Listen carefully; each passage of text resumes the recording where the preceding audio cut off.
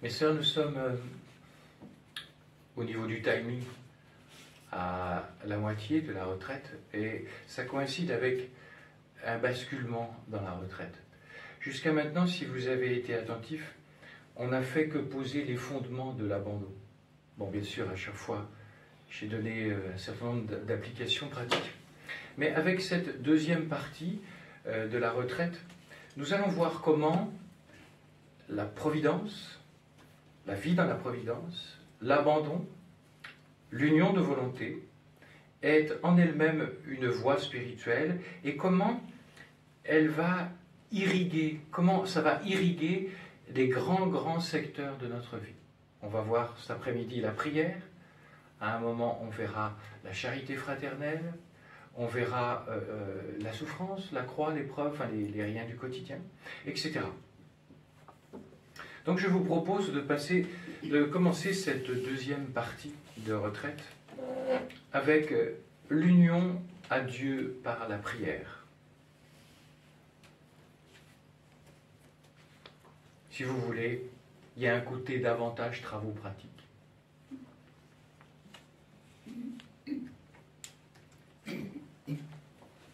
Première grande partie. Entrer dans la louange gratuite.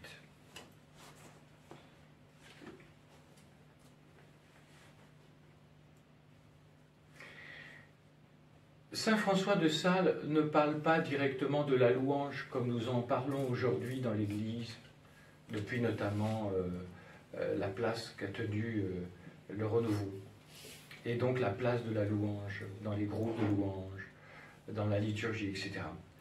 Il parle de deux mots, il utilise deux mots de son époque. Il parle d'amour de complaisance et d'amour de bienveillance.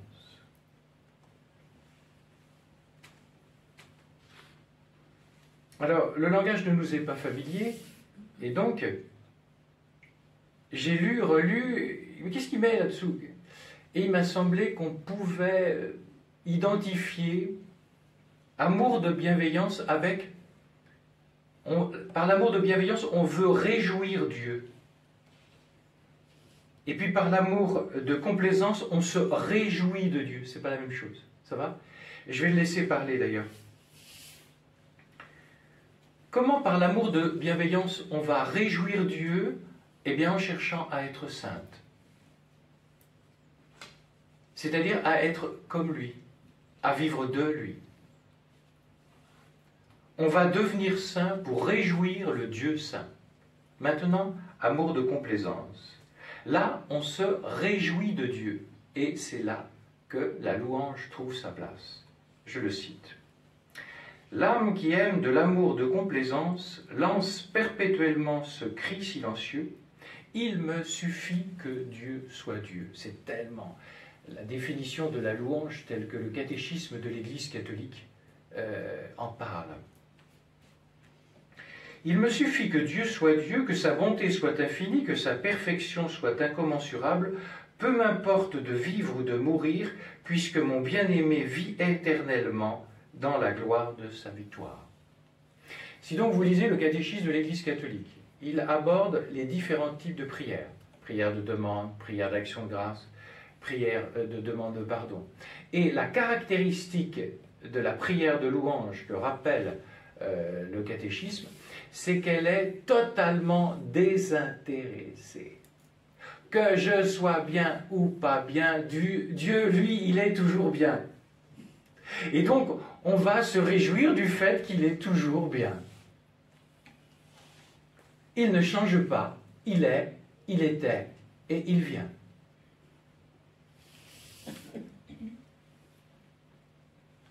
Vraiment, la louange a à voir avec l'amour de complaisance dont parle François de Sales. Une autre citation. Ainsi, notre amour envers Dieu nous fait souhaiter que grandisse en nous la complaisance, on retrouve l'expression, que nous mettons en sa bonté, et pour ce faire, l'âme se prive de tout autre plaisir afin de s'exercer à n'en plus trouver qu'en Dieu. Voilà. La caractéristique de la louange, attention, hein, voyez bien ça par rapport à ce qu'on appelle l'action de grâce. Oh, c'est la même chose, mon Père. Non, c'est pas la même chose. L'action de grâce rend grâce pour une grâce reçue. La louange, elle, se réjouit de Dieu pour le fait qu'il soit Dieu. Et vous comprenez, elle est complètement désintéressée. C'est pas ramène à moi. C'est pas donne-moi des grâces. C'est pas je, je suis pas bien en ce moment. Euh, euh, voilà, je te bénis. Non, c'est je te bénis parce que tu es gloire, parce que tu es joie, parce que tu es Dieu, parce que tu es l'amour. Alors que je vais être bien, alors que je vais pas être bien.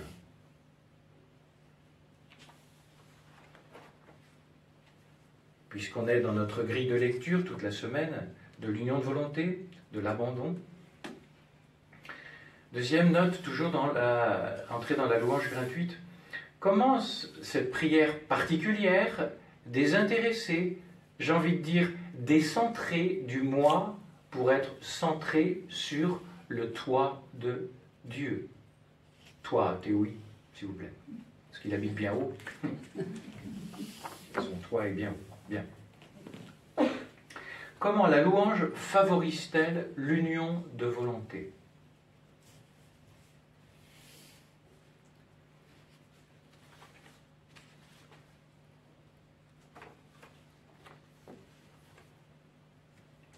Hein, Vous voyez bien, l'union de volonté, c'est pas allez, vas-y, euh, brise-toi. Non, l'union de volonté, c'est le secret, c'est la colonne vertébrale de la, de la vie spirituelle. Et donc, nous devons le redire, redire sans cesse. L'union de volonté est le secret de la joie profonde, de la sérénité. C'est l'objet de cette retraite. Bien. Première note. Le catéchisme, pardon, la louange se réjouit gratuitement de Dieu. C'est ça la particularité. Le trait distinctif de la louange, c'est qu'elle est complètement gratuite. Tiens, j'ai retrouvé la, définition du catéchisme de l'Église catholique. Elle est la forme de prière, écrit-il, qui reconnaît le plus immédiatement que Dieu est Dieu. La louange chante Dieu pour lui-même, elle lui rend gloire au-delà de ce qu'il fait. J'ai envie de rajouter pour moi, moi, le gros moi, infatué.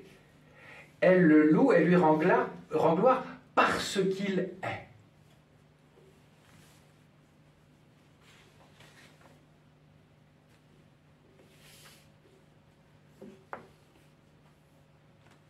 Et donc, on pourrait dire avec une autre euh, manière donc, de, s'exprimer que la louange ne se préoccupe que de Dieu, indépendamment de ce qu'il fait pour nous et des grâces qu'il nous accorde. Je me suis permis de me mouiller, de vous partager euh, mes petites expériences du cirage. Euh, sachez que ce matin, c'était un bon cirage.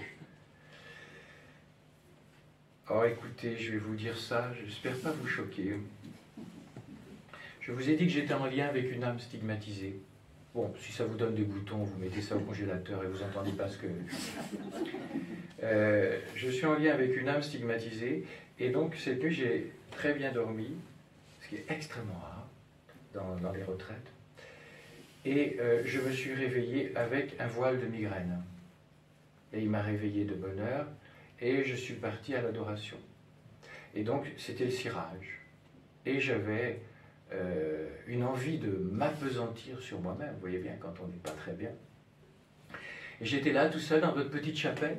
Et pas une sœur, j'étais tranquille comme baliste.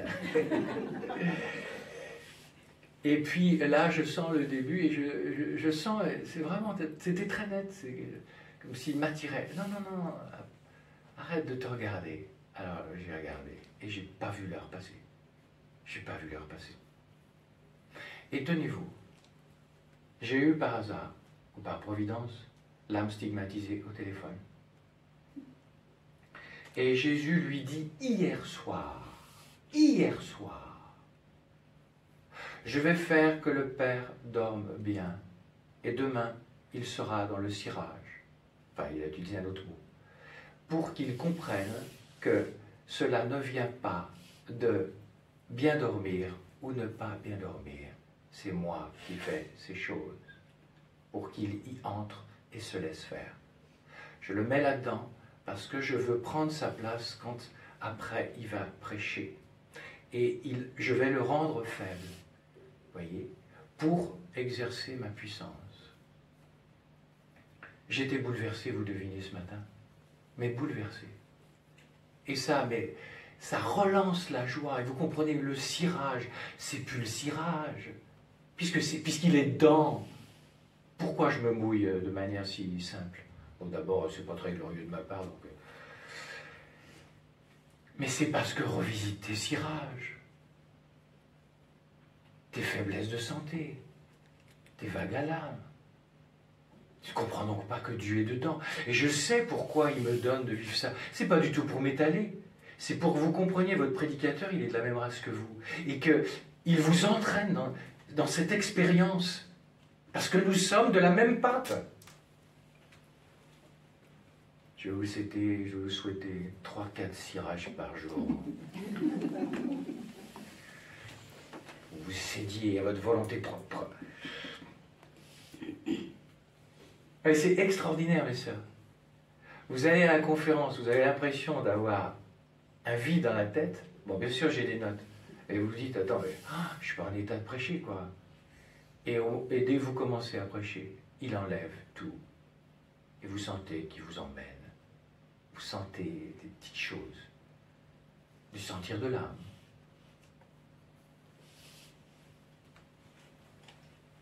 François de Sales bénir Dieu et le remercier de tout ce que sa providence ordonne. C'est là une habitude fort sainte. Mais il y a mieux. Déjà, nous laissons à Dieu le soin de vouloir et de faire de nous, en nous et pour nous ce qui lui plaît.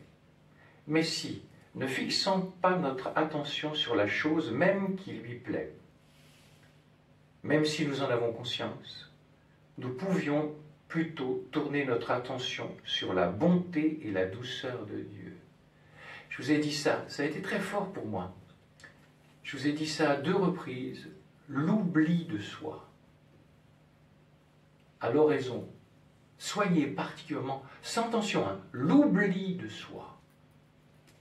Lui, lui, si vous priez la Vierge, elle, elle, la gloire de Dieu, vous souciez que lui soit heureux, que lui soit content. Vous n'avez aucun contentement, c'est pas votre problème. Vous êtes là pour contenter Dieu. Plus vous serez dans ce décentrement, moins vous verrez l'heure passer. Et vous n'aurez pas de problème de dos. Nous pouvions plutôt tourner notre attention sur la bonté et la douceur de Dieu, le bénissant non pas pour les événements qu'elles ont, ordonnés, mais pour elles-mêmes, pour leur excellence. Ce serait une attitude meilleure encore. Vous voyez ce que dit François de Sales? Fixez-vous sur Jésus, Jésus seul.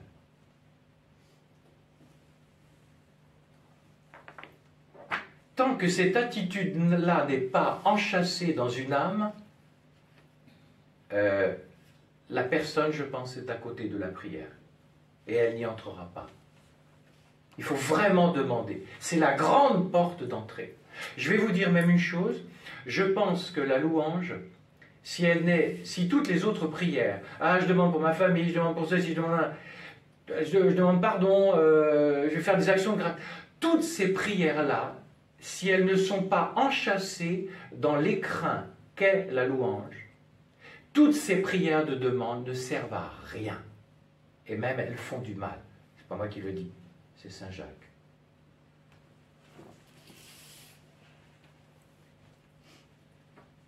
Écoutez, je ne sais pas marqué, je vous le dis au passage, euh, ce n'est pas l'objet de la retraite, mais regardez le Notre Père. Le Notre Père, euh, les exégètes, les exégètes, pardon, les exégètes, disent quoi? Il y a sept demandes que ton nom sanctifie, etc. Et donc on se dit, bah, donc la prière que nous enseigne Jésus, c'est une prière de demande. Oui, tout à fait. Sauf que ça se commence par un petit mot, Abba. Et donc, si je ne suis pas installé dans ma condition de fils, avec une conviction que Dieu est Père, quel que soit le résultat de mes demandes, si je ne suis pas installé là-dedans, alors je ne suis pas véritablement dans la prière chrétienne. La clé qui ouvre les prières des sept prières de demande du Notre Père. C'est Abba, autrement dit, l'abandon du Fils, de la fille que vous êtes au Père. S'il n'y a donc pas la louange, alors la prière de demande est, sera sans fruit. Voilà pourquoi euh, dans, les, noviciats, enfin je veux dire dans les vies de communauté, il faudrait il faut réenseigner, réenseigner la louange. Et mes sœurs, je ne vous demande pas de, fonder un groupe de louanges, euh, parce que dites-vous bien une chose, c'est que dans certains groupes de louanges, euh, c'est pas de la louange qui se fait, c'est du bruit. Parfois, ça tourne à la boîte de nuit. Et la petite grand-mère, mes sœurs, la petite grand-mère, qui, elle, n'a pas de santé, hein, et qui ne peut pas rentrer dans un, groupe de prière, parce qu'elle ne peut pas lever les bras, parce que c'est mauvais pour son cœur. Hein. Mais cette petite sœur, hein, petite grand-mère, elle récite son chapelet, et elle dit Je vous salue Marie, et elle prie uniquement aux intentions de Marie, c'est-à-dire complètement décentrée. Et eh bien cette sœur-là, cette petite grand-mère, elle est plus dans la louange que ceux qui vont faire de la soi-disant louange qui est en fait du bruit. Et croyez bien que j'ai fréquenté pendant des années, et entre autres en Afrique, Romeu du Popotin, vous savez, je sais faire. J'allais au groupe de louanges euh, tous les mercredis soirs et avec les Africains, vous savez, ça vous déconstipe, hein, c'est quoi de dire. Mais euh, vous voyez, je, vois ça actuellement, je, je suis parfois inquiet, je, je ne sais pas si on n'a pas quitté la louange dans certains lieux où ça se transforme en boîte de nuit, je vous dis. Euh, voilà. Donc vous voyez bien où elle est la louange. Hein. C'est vraiment dans l'âme profonde. C'est pas parce que vous avez une guitare électrique, une super batterie, un machin, et le dernier cri des micros, etc., comme euh, c'est l'exigence aujourd'hui, et de la musique à fond, que vous allez euh, être dans la louange. Je me souviens, Mercedes, elle disait, j'ai une louange continuelle c'est comme un, truc jaillissant. Et on est allé à, des groupes. Et puis euh, ne croyez pas qu'elle regardait, elle avait un, prêtre qu'elle aimait beaucoup. Et elle dit, mais ce prêtre, il est vraiment de Dieu. Et c'était un prêtre qui était charismatique et qui, euh, qui faisait des guérisons, et, etc., libération. Donc ils s'entendaient bien tous les deux. Alors ils avaient pris la même génération, c'était à mourir de rire de les voir tous les deux. Mais elle dit, quand je suis dans ces groupes-là, si je faisais ça, ou si je, je perdrais le flux. C'est difficile à expliquer. C'est-à-dire que l'Esprit Saint était continuellement, elle était continuellement dans une louange. Et si elle avait fait ça, elle serait entrée dans quelque chose de trop perturbant, pas simplement pour son âge, parce qu'elle était hors cadre.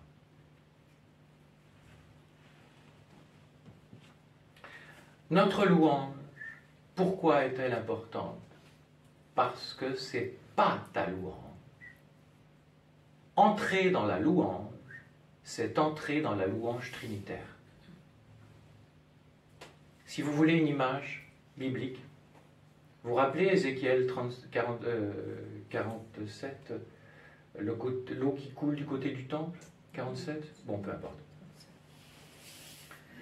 La louange, c'est cette expérience que fait ce prophète. Il entre, il a de l'eau jusqu'aux pieds. Il entre, plus avant, il a de l'eau jusqu'aux genoux il a de l'eau enfin jusqu'à la taille, et à un moment il perd pied. Il faut entrer dans le fleuve de gloire. La louange, en fait, n'est pas ma prière. La louange, c'est laisser la louange trinitaire qui a été déposée en nous depuis le jour de notre baptême. Depuis le jour de ton baptême, tu n'as pas une trinité statique qui repose en toi tu as une, c'est même pas suffisant de dire une, trinité dynamique. Tu as le feu de l'amour, les vagues puissantes dont parle saint Augustin quand il parle de la Trinité. Ces vagues de louanges qu'il y a entre le Père, le Fils et dans l'Esprit. Et donc en fait, qu'est-ce que c'est prier? C'est laisser Dieu prier en nous. On retrouve encore une des veines de cette retraite, une des veines de l'enseignement de François de. Il est dit, il dit, nous nous exclamons, gloire soit au Père, au Fils et au Saint-Esprit. Ce n'est pas la gloire provenant de la louange des créatures que nous souhaitons à Dieu, mais l'essentielle et éternelle gloire qu'il possède en lui-même. Ô Dieu, quelle joie, quelle heureuse complaisance, à nouveau complaisance, pour l'âme qui aime voir son désir réalisé, puisque son bien-aimé, Jésus, se loue, se bénit, se magnifie lui-même dans l'âme. La grandeur et la puissance de la louange dans vies. Autre note, la louange télécharge de Dieu, si vous m'autorisez l'expression un peu parlante pour nos oreilles contemporaines. Très épris de download et d'ordinateurs et de logiciels à télécharger.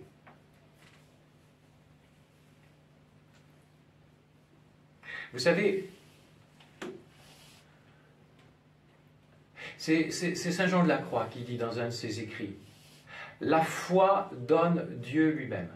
Combien de gens pensent que dès qu'ils posent un acte de foi, c'est comme une petite flèche de Cupidon qui va ah ça va ça, va peut-être faire du bien à Jésus on sait on sait jamais quoi la foi télécharge Dieu tout à l'heure vous allez à l'adoration vous allez être là euh, sec, sec, mais vous allez être dans l'acte de foi. Vous êtes à l'instant téléchargé de Dieu.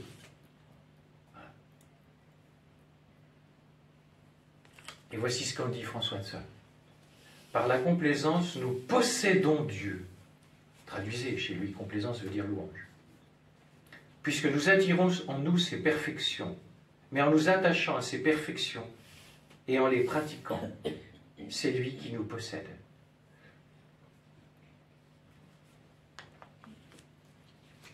Autre point extrêmement important. Nous sommes tous créés pour louer. Dites pas Oh oui, mais mon père, c'est pas ma sensibilité. Ne confondez pas assemblée de louanges qui ne correspondraient pas à votre sensibilité avec la louange qui, elle, est livré, entre guillemets, avec le pacte du baptême. À toi de le vivre. C'est autre chose. Et à ta manière, selon ta sensibilité. Je vous signale que nous ne ferons que cela là-haut. Saint Ignace de Loyola dit dans ses fondements, l'homme a été créé pour louer. Et si vous avez relu la grande fresque de l'Apocalypse, il est dit, il ne cesse de répéter jour et nuit Saint, Saint, Saint, Dieu maître de tout. Il était, il est et il vient. Apocalypse 4. Autrement dit, qu'est-ce que c'est la vie sur la terre? C'est le noviciat pour la louange éternelle. C'est commencer un travail de chorale pour ne faire que ça là-haut. Et vous inquiétez pas, on n'aura pas de voix fatiguée puisque c'est lui qui chantera en nous. Et on ne fera que ça jour et nuit. Et comme dit Saint Irénée ou même, ou même euh, Thérèse de Lisieux, ce sera toujours nouveau.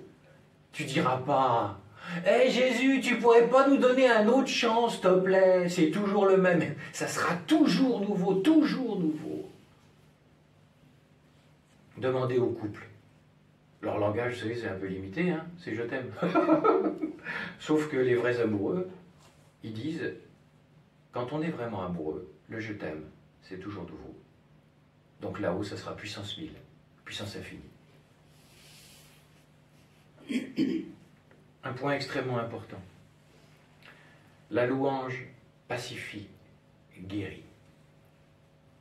Je le vois que trop dans l'accompagnement des âmes une âme qui jette son encre par-delà le voile, comme dit l'Épître aux Hébreux, sur le Christ, et qui arrête de passer son temps à se sentir, à s'évaluer, eh bien cette personne-là va guérir parce qu'elle est décentrée d'elle-même. Rappelez-vous le mot de Mercedes. Les gens s'écoutent trop. C'est la source de leur malheur. Ils ne sont pas assez décentrés.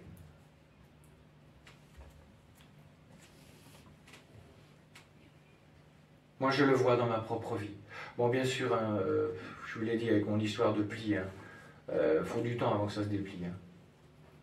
Mais vraiment, ça peut, à certains moments, aller très vite, passer par des seuils très très puissants.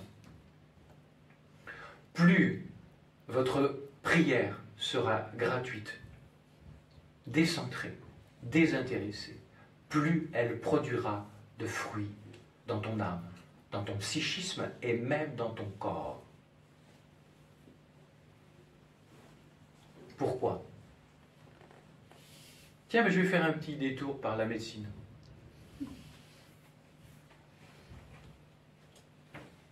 Comment ça s'appelle les, les, voix dans l'oreille Les vertiges dans les. Comment les. Les, les acouphènes. Regardez, c'est très terre à terre mon affaire, mais vous allez comprendre. Un médecin me disait on soigne certains acouphènes en euh, mettant une petite musique, je sais pas quoi là, un petit truc là, qui décentre la personne du bruit de l'acouphène et qui fait qu'elle ne l'entend plus.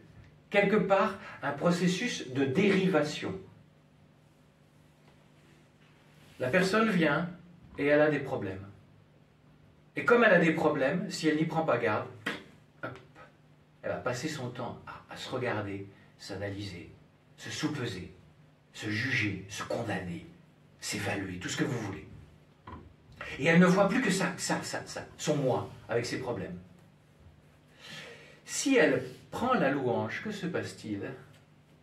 Il y a une dérivation du problème, c'est-à-dire par le Seigneur Jésus.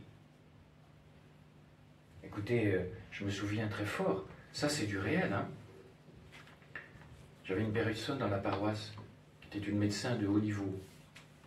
Et elle était supérieure, ou pardon, pas supérieure, pardon, directrice euh, d'une unité de soins euh, antidouleur.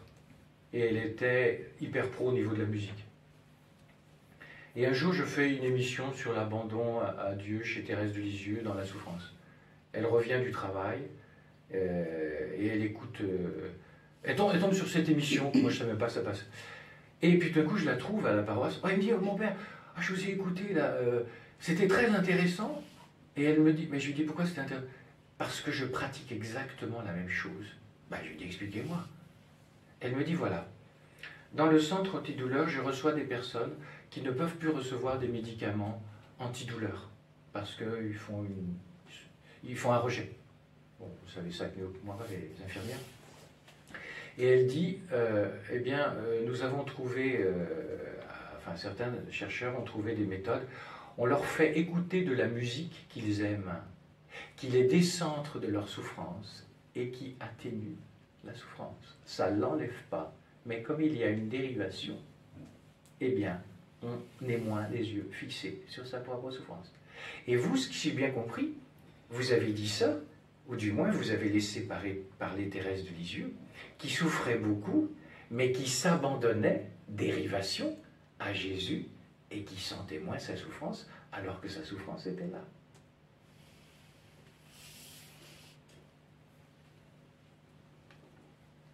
L'amour de complaisance, dit François de Sales, nous fait doucement reposer dans ce bien qui nous délecte et dont nous nourrissons notre cœur. Quand vous avez des périodes difficiles, mes sœurs, que vous allez traverser une petite déprime, euh, voilà, c'est pas un péché, c'est une épreuve. Hein. Vous allez des, des, vagues à des choses difficiles dans ces périodes-là, faites attention à l'oraison silencieuse. Car si vous n'y prenez pas garde, l'oraison silencieuse va se transformer en petit vélo noir qui n'arrête pas de ressasser les problèmes. Je suis en déprime, je suis en déprime, je suis en déprime, je ne sais pas quoi. Quand vous êtes dans ces périodes-là où vous avez un souci qui vous obsède, par exemple, il faut absolument, comme quand on est handicapé, on prend une béquille simplement, parce qu'on sait qu'on ne peut pas y arriver. Et là, il faut prendre la béquille de la louange. Sinon, vous allez vous apesantir sur vous-même, et l'oraison, au lieu de vous faire du bien, va vous faire du mal. Vous entendez bien ça?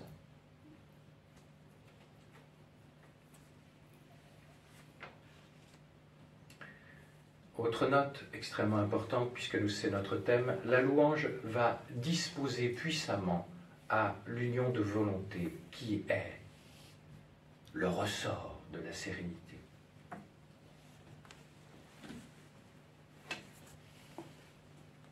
Redisons-le, Dieu ne change pas. Son moral n'est pas comme le nôtre. Il ne connaît pas de haut et de bas. Il n'a pas de déprime, heureusement pour nous. Hein. Euh, Jésus-Christ est le même hier et aujourd'hui, il le sera à jamais. Hébreu 13, Si donc je jette mon encre sur ce Dieu qui ne change pas, eh bien moi qui change beaucoup, à force, je vais moins changer. François de Sales. Sachons bénir Dieu pour tout ce qu'il fera pour nous. Seigneur, je ne vise rien de particulier. Je vous laisse choisir et décider pour moi, à votre gré et à quoi qu'il advienne. Laissons à Dieu le soin et de vouloir et de réaliser les effets de son bon plaisir. En tout cela, nous le bénissons et lui rendons grâce. Non seulement Dieu ne change pas, mais il sait ce qui est bon pour nous. Les cirages qui m'a fait vivre, il sait ce qui est bon pour moi. Il y a quelques années, j'aurais dit je veux pas. Je vois bien qu'il y a des évolutions qui se passent avec le temps. On s'assouplit, puis on décode aussi.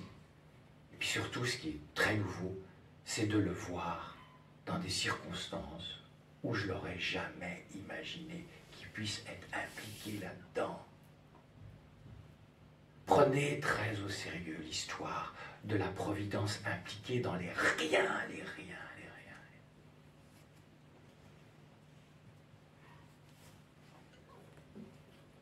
Je vous propose une autre piste maintenant, une deuxième partie. À propos de la prière, une autre expression de la prière, qu'on pourrait appeler l'exercice de la présence de Dieu.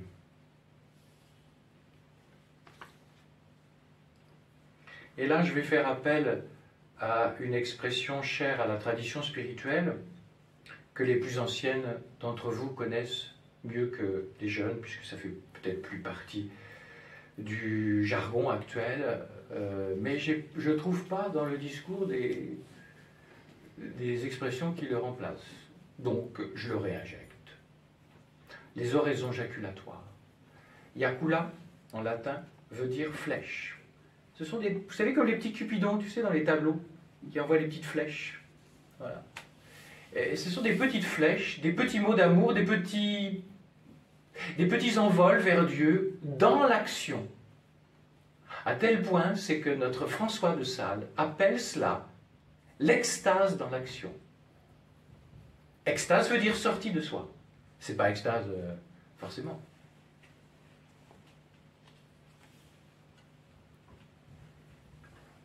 Et si vous pratiquez les oraisons jaculatoires, il va y avoir une unification de votre vie spirituelle. Il n'y aura plus les temps d'oraison et d'adoration où là, ah c'est merveilleux, je suis avec Jésus. Et puis après, il y aura les temps de cuisine avec les casseroles, où là, je ne serai pas en Dieu. Avec les oraisons jaculatoires, eh bien, c'est comme si vous permettez à Dieu de rendre perméable non plus les temps pour Dieu et les temps qui seraient les temps de travail. Les temps de travail deviennent aussi des temps de Dieu. Vous avez deux manières de descendre un escalier. Bon, je reconnais, vous avez pris un peu d'âge, donc peut-être que vous le descendez un peu plus lentement que vous l'avez descendu quand vous étiez jeune.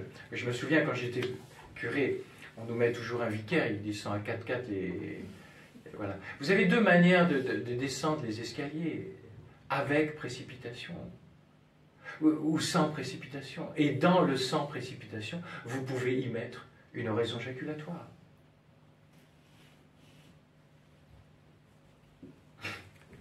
Bon, vous ne saurez pas qui c'est. J'ai un bon ami prêtre qu'on compte non pas sur les doigts d'une main, mais sur les doigts d'un doigt. C'est-à-dire, euh, il n'y en a pas beaucoup. Et on partageait comme ça. Et il me dit l'autre jour, j'étais à la paroisse. Et les laïcs, tout, tout le monde était parti. Et ils sont aperçus que j'avais toute la salle à, nettoyer avec la serpillière. Et je commence et je suis un peu grognon. et tout d'un coup, lui vient cette inspiration. Tout pour le salut. Et voilà. il a fait ça. Et au lieu de grogner, il l'a transformé en oraison jaculatoire. Il me dit, c'est curieux, je sens que ça a démarré quelque chose qui fait pas de bruit, mais qui me paraît très important.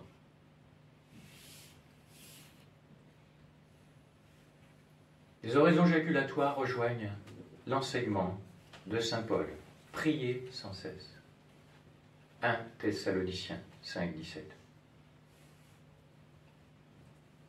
Sainte Jeanne de Chantal recommandait à ses sœurs d'être attentives à ne pas être plus d'un quart d'heure sans faire quelque acte d'amour, oraison jaculatoire, acte d'amour que vous voudrez l'appeler, vers la divine majesté toujours présente, ou quelque autre acte conforme à l'attrait de chacune et selon sa dévotion particulière, pour nous unir à sa bonté. Qu'est-ce qu'il faut dire? Bah, C'est pas à moi de le dire. C'est comme dans les couples.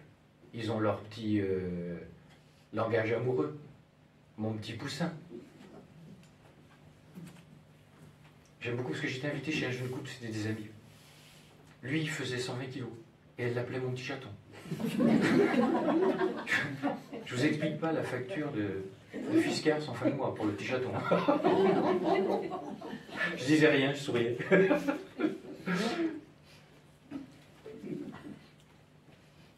Ce que je veux dire, donc plus sérieusement, chacun a, ses, petits mots. Vous voyez, quand cet ami m'a dit tout pour le salut, je lui dis c'est extraordinaire, c'est vraiment ton langage à toi, ça ne sera pas le mien. Et je me réjouis parce que ça correspond tellement à, ce que tu es, ce que je sais de toi. C'est, euh, moi, ça sera plutôt, je lui dis, euh, puisque tu le veux, enfin oui, la tarte à la crème que je vous reçois, puisque tu le veux, Jésus, je le veux bien aussi. Voilà. Mais donc, chacun aura. Allez pas dans les dictionnaires pour trouver des citations, enfin, vous fatiguez pas.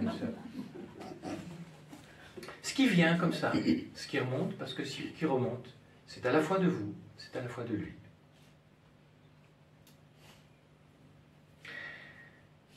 Chez certaines personnes, le seul nom de Jésus suffira. Vous reconnaissez par exemple la tradition orientale, euh, orthodoxe, Père, Marie, maman même.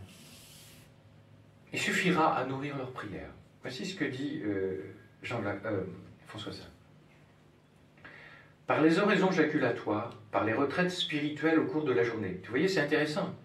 Il appelle ça une retraite spirituelle, des micro-retraites spirituelles. C'est pas je vais à la chapelle, non, c'est dans l'action. Par les élans de notre cœur, cent fois par jour, nous pouvons remettre notre vie au divin amour. Ces pratiques nous aident à maintenir continuellement notre esprit en Dieu et à jeter en lui toutes nos actions.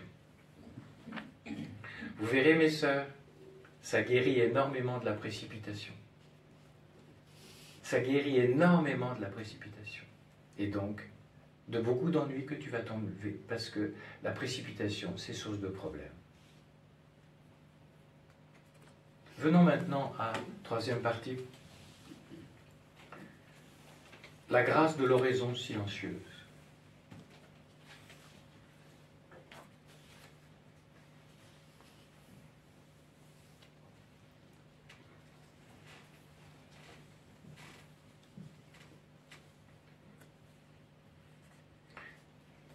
Saint Jean, de, Chantal en parle très bien. Elle reprend d'ailleurs les conseils de François. L'essence de l'oraison mentale, disait notre bienheureux Père, consiste proprement à parler avec Dieu, le louant, Saint louant, le bénissant à cause de ce qu'il est, lui parlant comme un enfant à son Père, une épouse à son époux, enfin comme à notre fidèle ami, comme une ignorante qui demeure dans un humble silence, ne sachant parler, mendiant à la porte de la cour céleste les trésors divins. Si nous considérons que l'oraison est un exercice compliqué, c'est que nous avons tout compliqué. Allez donc demander à un couple amoureux si c'est compliqué pour lui de se trouver l'un en face de l'autre, en se regardant, en s'aimant, sans rien se dire. C'est ça l'oraison. sauf que le partenaire est un petit peu invisible. L'oraison, écrit François, n'est pas autre chose qu'une conversation où l'âme s'entretient amoureusement avec Dieu, de sa bonté tout aimable, afin de le rejoindre et de s'unir à elle. Je fais un petit arrêt sur le mot amoureusement. Attention, la plupart du temps, ne confondons pas sentir être amoureux et être amoureux. La plupart du temps, nous sommes dans une attention amoureuse sans ressentir l'amour. L'attention amoureuse, c'est vouloir être avec lui, alors qu'au niveau des sentiments, on va être éventuellement, la plupart du temps, dans une grande sécheresse. Ce que Jésus attend de nous, ce n'est pas des grandes palpitations au niveau du palpitant. Est-ce que tu veux être avec moi? Et quand la personne opère cette petite révolution intérieure, où elle vient pour l'autre et pas pour elle-même, eh bien, au bout d'un moment, cette personne ne s'ennuiera plus la prière, puisqu'elle elle ne viendra plus pour elle-même, et comme la plupart du temps, c'est plutôt l'ennui, mais qu'elle viendra pour Dieu, pour le contenter. Sa joie sera de contenter Dieu. Faut-il avoir fait beaucoup de cours de théologie et de cours d'exégèse pour faire oraison? Non, non et non. Cela peut même être un obstacle à partir du moment où la personne en fait un écran.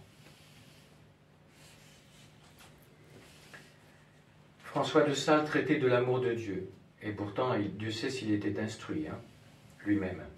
La science ne s'oppose pas à la vie spirituelle, et appliquée à la science spéculative, la science théologique, si vous voulez. Elle lui est même fort utile. Si elles s'unissent, elles s'entraideront mutuellement, même si en raison de notre misère, il arrive que la science nuise à la vie spirituelle, car la science enfle et rend orgueilleux. Or l'orgueil s'oppose à toutes les vertus et ruine la vie spirituelle.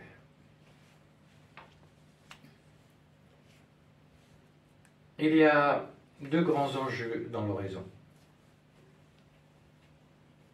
Il faut passer d'un je fais oraison à un je laisse faire Dieu oraison en moi. Le deuxième enjeu, c'est de passer d'un je sens à un je crois. Vous voyez bien ce qu'il y a derrière Toujours cette histoire de lâcher prise pour laisser Dieu être Dieu dans mon oraison. Et puis la deuxième, c'est la purification du sensible. Quelques mots sur passer du je fais au je me laisse faire. Saint Jean de Chantal dit Si allant à l'oraison, on pouvait être pure capacité pour recevoir l'Esprit de Dieu, ça suffirait. Euh, vous reconnaissez sans doute en écho les mots bien connus de Jésus à Catherine de Sienne, Fais-toi capacité, je me ferai torrent. Tiens, il me vient ceci à l'esprit. La première retraite que j'ai faite en foyer de charité, j'étais séminariste. C'était un très saint, bien évidemment, pas très loin de chez nous. Et c'était un tout petit père qui est parti à la retraite. Et euh, voilà, qui payait apparemment pas de mine, mais Dieu s'est servi de lui. Et il a fait une retraite complète sur la prière. Alors, on avait de la nourriture, hein Surtout que ça devait être trois enseignements par jour. Bon. Mais je ne retiens qu'une chose, et ça a créé un basculement. À un moment, il a dit Chers retraitants, sachez que le plus actif, plus agissant dans votre prière, c'est Dieu. Ah Et on a dû me le dire. Mais là, c'est comme si. Et moi, je suis parti à l'horizon. Mais pourquoi tu te fatigues? Pourquoi tu te tends? Mets-toi en situation de, te recevoir. Bien sûr, soutien, soutien, puisque tu n'es pas un pur esprit. L'attention amoureuse, mais c'est lui qui prie. Ça a comme créé une révolution copernicienne dans ma prière. C'était plus moi qui fais mes prières, c'était moi qui apprenais à laisser Dieu prier en moi.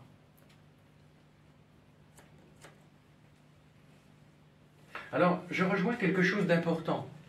Euh, je fais le, lien entre oraison mentale et puis les oraisons jaculatoires. Je vous ai dit quand vous êtes dans une prière un peu, euh, pardon, dans une phase un peu difficile, je sais pas, vous avez des ennuis dans votre communauté, des, responsabilités, des, ouais, des, choses difficiles à porter, puis ça peut durer un peu, ça dure pas simplement quelques heures, ça dure des jours ou des journées. Là, ces périodes-là, c'est extrêmement important d'avoir les béquilles dans votre oraison. Et là, Jeanne de Chantal enseigne ceci. Contentez-vous de dire de temps en temps quelques paroles vocales. Vous voyez, par exemple, ce matin, moi, c'est ce que j'ai fait. En plus, on était tout seul, donc je n'avais personne qui me gênait, sauf de l'autre côté de la chapelle, il y avait, devait y avoir quelqu'un, je pense. Mais comme il y avait une vitre, nous étions bien séparés. Et donc, euh, voilà, mais on peut le faire sans aucun bruit. Voilà, je vais vous le mimer, simplement. Tu respires, tu penses à rien. Et quand tu lâches, j'ai Marie, voilà, quelque chose de très simple. Et ça te décentre de toi-même, ça te centre sur Dieu, sur Marie, et au bout d'un moment, même ces béquilles-là, Jésus te fera sentir, j'en ai plus besoin, laisse-toi porter. Puis tout d'un coup, tu reviendras sec. Tu partiras encore dans ton imagination, dans des soucis du jour. Allez, on reprend les béquilles pour soutenir l'attention amoureuse. Moi, j'aime beaucoup cette expression. Elle est de Jean de la Croix. Il dit que l'oraison, c'est une attention amoureuse. J'aime beaucoup ça. Je trouve que c'est ça qui dit tout.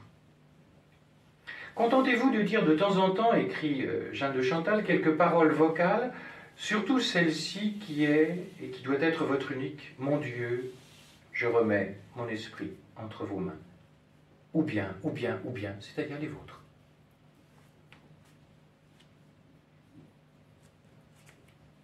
Regardez Jésus pour apprendre à moins se regarder dans la prière. Quelle est la difficulté de la prière? C'est que quand Jésus donne un certain repos, qui n'est pas d'une extase, mais un repos, une prière de simplicité, comme dit Jean de la Croix, prière d'emprise. La difficulté, c'est que l'âme, si elle n'est pas assez purifiée, elle va se complaire dans le sentiment de repos et elle va quitter l'attention à Dieu et elle va rester sur le sentiment. Et là, euh, notre ami François de Sales dit ceci. Certains esprits sont plus tournés vers eux-mêmes ils aiment à se rendre compte de ce qu'ils font. Ils analysent constamment ce qui se passe en eux. Vous voyez, ils sont à la prière, et puis, je vous ai dit, il y a comme un deuxième Joël qui est en train d'analyser ce que fait Joël dans sa prière. Et euh, mettez chacun vos prénoms. C'est un peu fatigant. Mais on ne se rend même pas compte de ce mode de fonctionnement parce qu'il est inconscient. Ou du moins, jusqu'à ce qu'on s'expose à Dieu qui, lui, va nous le rendre ils veulent voir où ils en sont. Au lieu d'occuper paisiblement leur volonté à sentir la douceur de la présence de Dieu, ils emploient leur intelligence à discourir sur les sentiments qu'ils éprouvent. Je crois que c'est Augustin qui dit, il y a ceux qui aiment et il y a ceux qui aiment l'amour. Comme une épouse qui passerait son temps à regarder la bague de son mariage sans voir l'époux qu'il lui a donné. C'est magnifiquement dit. Maintenant, passer d'un je sens à un je crois.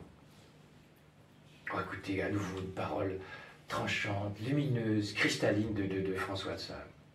Il y a une grande différence entre se complaire dans le Dieu qui nous donne du contentement et se complaire dans le contentement que Dieu nous donne.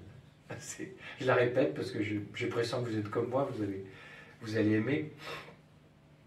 Il y a une grande différence entre se complaire dans le Dieu qui nous donne du contentement et se complaire dans le contentement que Dieu nous donne. Il est inévitable au début de la vie religieuse d'aller à l'oraison pour avoir des câlins. Et puis il y a un moment où Jésus dit, je vais te les donner, mais il faut que tu inverses la vapeur. Donne-moi, fais, donne-moi tes câlins. sois obsédé de me câliner. Moi, en retour, quand je jugerai bon, tu verras, je te donnerai des câlins. Mais mettons les choses à l'endroit. Nous allons à l'oraison pour un jeu d'amour. Et aimer, dirait Thomas d'Aquin, c'est vouloir du bien à quelqu'un d'autre. Le drame de l'oraison, c'est qu'on ne se rend même pas compte qu'on vient pour soi. Et donc ça suppose un gros décentrement de vouloir venir pour lui. Et quand on est bien enchâssé dans cette disposition d'âme, je vous dis, on ne, voit plus l'heure passer.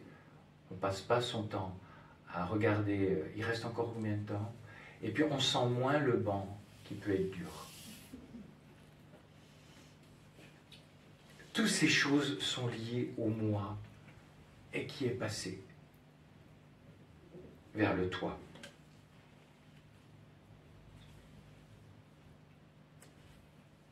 Alors que faire dans la désolation intérieure? Au lieu de fuir les désolations et de les considérer comme une punition, priant Dieu de les écarter, nous allons les envisager au contraire comme une immense grâce et un immense honneur.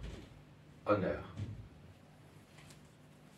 Une autre sainte, la bienheureuse Conchita Cabrera de Armida, Jésus dit ceci, les sécheresses, je ne les donne qu'à mes privilégiés, parce que je sais qu'elles savent les porter. Si donc tu es dans la sécheresse, tu vois ce que ça veut dire? Tu fais partie des épouses. Il te juge digne. C'est un honneur de vivre. Je sais, c'est douloureux, mais c'est un honneur de vivre la sécheresse. Il te juge capable d'aimer sans toujours rechercher des câlins. Jean de Chantal. Les souffrances intérieures que Dieu vous fait sentir sont des récompenses de vos travaux passés et non pas des punitions. Il te juge bon. Quel honneur. Maintenant, c'est une grâce. C'est une grâce pourquoi? Parce qu'il ne peut pas y avoir de purification de l'âme et d'élévation de l'âme sans que l'âme soit passé au creuset de la sécheresse. Rappelez-vous un des chants que vous nous avez fait chanter à la messe. Le refrain se terminait Apprends-nous à aimer. Nous ne savons pas aimer. Et nous sommes sur cette terre pour apprendre à aimer. C'est-à-dire à passer du moi, toujours un peu obsédé du moi, au toit du Seigneur Jésus. Jeanne de Chantal, enseignant ses sœurs. Dieu, par cette voie de désolation intérieure, veut conduire votre âme à un plus grand et plus élevé degré de perfection, et surtout à un parfait dénuement de toutes sortes de satisfactions, afin que vous ne preniez plus de contentement qu'en Dieu seul et non en ses dons. Il me vient ceci. Si dans une communauté religieuse on pratique vraiment l'oraison, vraiment l'oraison, il n'est pas possible que cela n'ait pas de rejaillissement sur la vie communautaire. Je m'explique. Étant donné que l'oraison est extrêmement douloureuse, je veux dire qu'elle est sèche.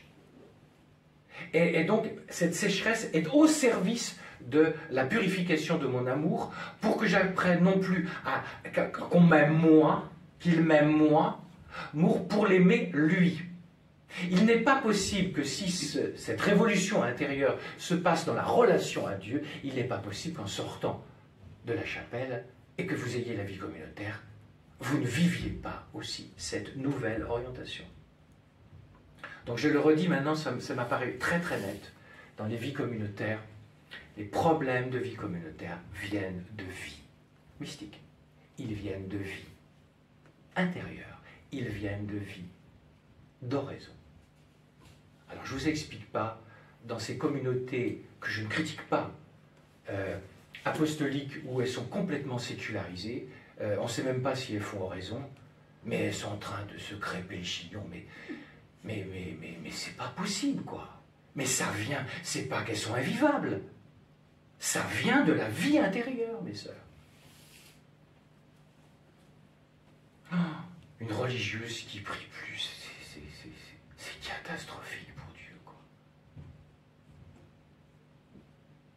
Et donc, votre vie communautaire, entendez bien ça, elle se joue plus dans votre oraison que dans vos réunions communautaires, vous passez votre temps à échafauder des plans, je ne sais pas quoi, pour que ça aille mieux. Je ne suis pas contre, c'est important, je ne vais pas vous dire le contraire.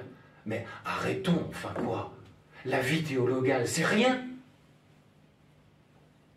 C'est quand même fou qu'on soit venu à, ce que des, techniques de communication dans, dans les communautés ont pris le pas sur la communion avec Dieu. C'est pour dire comme on est rendu vraiment très très bas. Parce qu'on ne se rend même pas compte, c'est un aveuglement. Mes sœurs, de cet enseignement, que chacune s'interroge. L'oraison, c'est quoi dans ma vie? La deuxième chose, écorner ton oraison d'une minute. Il te sera demandé des comptes. Et il décornera ton ciel d'une minute. ton entrée dans le ciel. Non, non. Plus sérieusement, faites attention parce que, bien sûr que c'est rien décorner d'une minute. Mais avoue-le, tu as du temps. Ça suffit ce truc-là. Puis si tu le fais pas à ce moment-là parce que tu es pris et une urgence, bah bien sûr, bon Dieu t'en demande pas tant. Et vous comprenez, ça signifie ta délicatesse d'âme, la manière du respect du temps de l'oraison.